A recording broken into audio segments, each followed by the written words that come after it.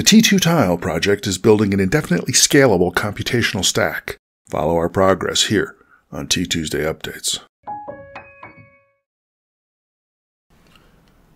Our top stories this week. It's still the Wall of Science for the month of February, but I figured at least we could have a nice New Mexico sunset picture with the graphics.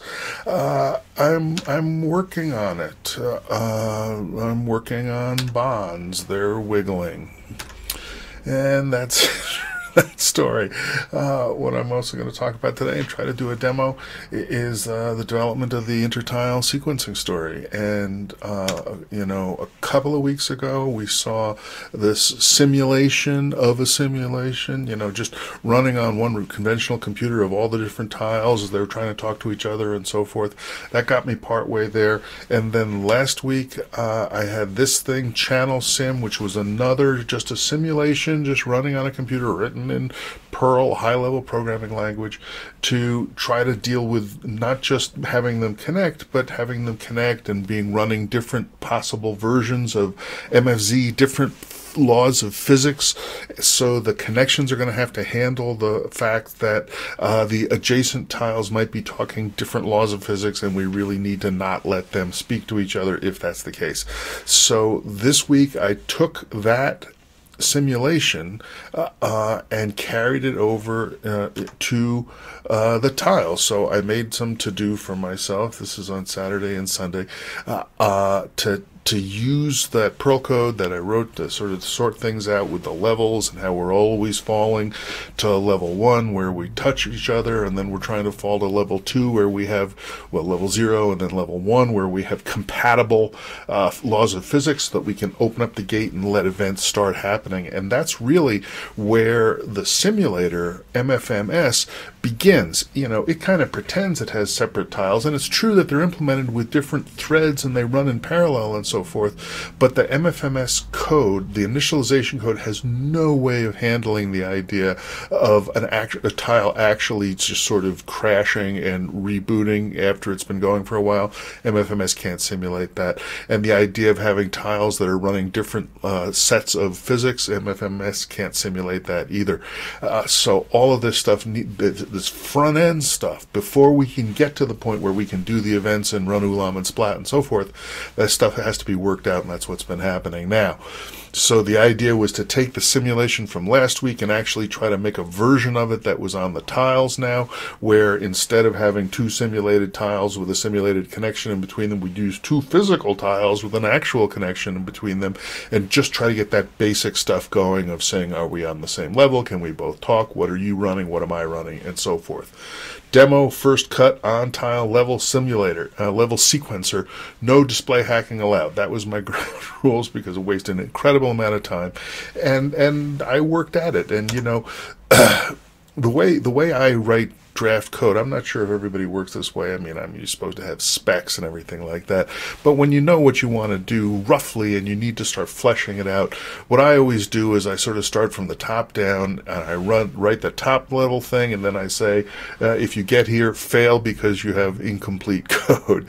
And then I run it. And so I got it to compile and then I run it and, and I got uh, uh, incomplete code. And that's big success. And then you go back to wherever it was. I do DC's bike driver CPU. This is actually a different one than we saw in the picture. It's a little bit late. And then you write some more code. And now it fails at ITC CPP line 21. And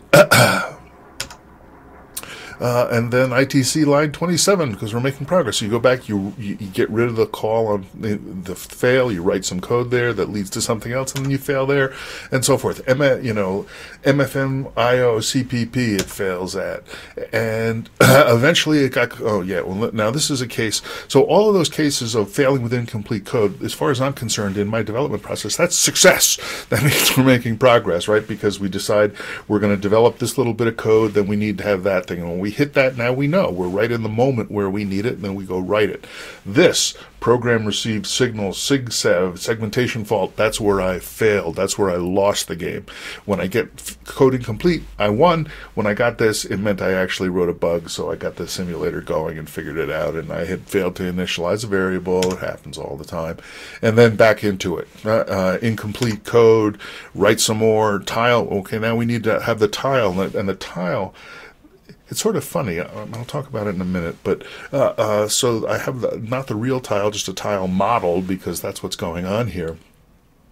This is all about getting the intertile connections to talk to each other, and uh, uh, you know, I, I suspect, I don't really know, but it's possible that this little spike, this little attempt just to get the sequencing working, might ultimately grow up and eat MFMT2, which is the whole giant code base that's directly based on MFMS because MFMS has a whole, all of those assumptions, like the tiles will always be there once they're set up, and the tiles are all, are all running the same laws of physics guaranteed, and so forth, that are not true in the actual tiles. So it may be that I call this tile model to distinguish it from the real tile code in the MFMS code base, but it's possible that with a few more spikes, a few more developments, a few more weeks after the wall of science comes down, that this little thing that we're looking at right here may end up growing up into the new MFMT2, uh, so a fresh start where we then just pull in individual little pieces, load the ULAM code, do an event, and so forth, and put it into this thing. We'll see. Uh, um, and then incomplete code and so forth. So this went on for uh, a day or two, uh, whatever it was, and oh, there we go. Uh, um, and oh yeah, and then eventually we get to a point where it, it didn't fail. It's very distressing. Uh, uh, now it's it's in a loop doing some updates that I partly had written and so forth, and which means now I need to have more what in my mind I want to happen uh, because I've implemented all of the semantics, all of the behavior that I was going for to begin with. I, there's no more places to put in incomplete code. I need more idea. Now it's incomplete thinking, so I go back to channel sim. I go back to the Perl code. This is a whole different language, and I say say, okay, well, what else did it do that my guy isn't doing? Well, we're waiting to hear that they're here. So here's a whole nother stage that I can now go back and implement and put fail codes in there again. And okay, great. Now we're failing with incomplete code again, and off we go to the races. We go all the way through this and uh, more failures and so forth, and you know, writing to the log file. Oh, and this was an exciting thing, right? Uh, the first time my little on the tile thing detected an incompatible MFZ, uh, uh because you know there's no way to do that with a loopback cable because the loopback cable says I'm running MFZ2. Hey, I'm running MFZ2 too because it's talking to himself. So the first time I got incompatible MFZ, that was actually had two separate tiles that were running with separate serial cables, and I was looking at the log files of both of them, and I finally got it. And here it is. And so I obeyed my rule, which is don't waste time doing uh, graphics and all that stuff because it's an incredible time sink, and just focus on the behavior. I got this far. a T Tuesday update coming, not that far away. I went back and I started doing graphics code for it. So I went to the T2 Viz guy, you know, the one that displays all the statistics and stuff, and I started stealing code out of that to do a Viz. Uh, uh, it's very rough, but let's try uh, uh, a demo. Uh, okay, so here we are. so if I've done this right, um, we've got uh, three tiles here uh, that, and they've all been changed now so that they boot up into ITC Spike 11 instead of booting up into MFMS. And so they're not actually prepared to talk to an MFMS tile. If I plug in another random MFMS tile that I haven't done this with, everything gets all messed up because they're sending packets to each other over channels that they don't understand yet. But, um, as long as they're only talking to themselves, uh, then things go fairly all right. And I don't know uh, how the display is going to come out. You know, there's a, there's a general issue that I've got here. I mean, these are very cheap uh, LCDs uh, that I'm using for these things. And furthermore, it turns out there's actually, I bought them in a couple of different batches, and the batches aren't quite the same, which uh, all right, but here we're coming up. Okay, so we boot into T2, we get our splash screen, uh, um, and then they're going to boot into this uh, ITC Spike 11, uh, um, which is basically just going to be displaying the status of the connections, uh, the ITC connectors. So red means I'm hearing from them, but they're not talking sense. Blue means I'm hearing from them, but we are incompatible with them. Uh, gray means I'm not hearing from them at all. And that's what we've got here. So this guy is currently running MFZ 0 physics. This is running MFZ 2. This is running what? MFZ 3. Uh, uh, so they're all running incompatible physics. So they're blue and red between each other. But the sooner I, I made my tiles change what they're running quite frequently. 0, 3, 2. All right, 2. yeah, quite frequently. Uh, uh, what do we got here? Uh, um, two and two.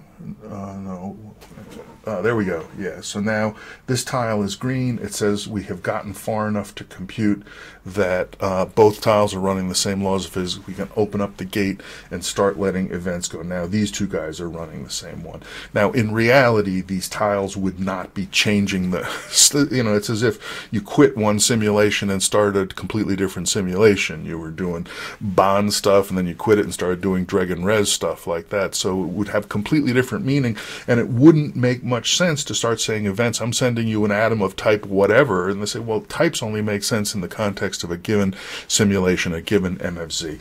So, uh, the, these guys are green because they're both talking MFZ1. There we go. Everybody's talking MFZ1. So three tiles and so forth. So this is working pretty well. Uh, um, now, of course, one thing we can do is we can, you know, use a loopback. Um, because one nice thing that we'll know about that is that just like we said before, with the loopback cable, can I get this in here? Uh, uh, there we go. So it's red, I hear them talking, but they haven't spoken proto. There we go, and now it's green. So these guys, east and west, should basically always be green. Sometimes they'll drop back to blue for a second when their uh, physics is changing before they've notified each other of it, but then they're coming back up. So this guy's running MFZ0, and you know, it all works. We can, we can hot plug uh, other guys in there. I don't know if we're going to sit here long enough to wait for them to come up because it still takes a minute for them to come up. Uh, um, but that's where we're at. so right now there's uh, um, you know this this is still you know rickety. It's not as it's not as snappy as i would like it to be because there are these trade-offs between spamming and sending tons and tons of packets saying are you there? Are you there? Are you there? versus backing off and i probably can't read this but uh, each of the itcs once they uh, sent a packet and haven't gotten a response they wait longer before trying again uh, to avoid spamming it but that slows down the response when things may have actually changed underneath. so, so all of this exercise over the last two weeks, what it really did for me is it changed my perspective from thinking, you know, it's all about the tiles, uh, uh, and the tiles are the most important thing, to now really the important thing is the intertile connectors, because they're the ones that have to do all the work. You know, the tiles are, the tiles, you know, the tiles don't look at the intertile connectors in this. The tiles just do whatever they want. They're the complete prima donnas. They can crash, they can reboot, they can change whatever they're doing anytime they like, and it's up to the code that's talking to the other intertile connector codes for them to figure it out, to notice the tile has changed what it's doing, and go back to a level, renegotiate with the neighbors, and so forth. So really, it's the ITCs are the heroes of the story, at least this week. Uh, um, because they're the ones that have to keep on going no matter what. There, there may be no events happening as far as Ulam and Splat is concerned, as far as the artificial chemistry. There might be a hard wall here, nothing to see. But the intertile connectors are down there ceaselessly checking what are you running, what are you running, what you're at level what, you're at level one, stage two, I'm at level one, stage two, let's move on, and so forth. So, uh, and that's and this guy came up and and the ITCs, the hardest working bits of code in the thing, uh, took care of it. So that's the story. Um, there's only three weeks until the wall of science comes down. There's probably going to be a week extension, so it might be four weeks. Uh, but uh, have to really move hard on the bonds. I'm not sure how much intertile sequencing stuff I'm going to be able to do in the coming week. I'm not going to put myself on the hook too much for that. Got a bunch of other things that I haven't talked about that are coming along that hopefully I'll be able to talk some of them next week as well. We'll wait for next week and find out.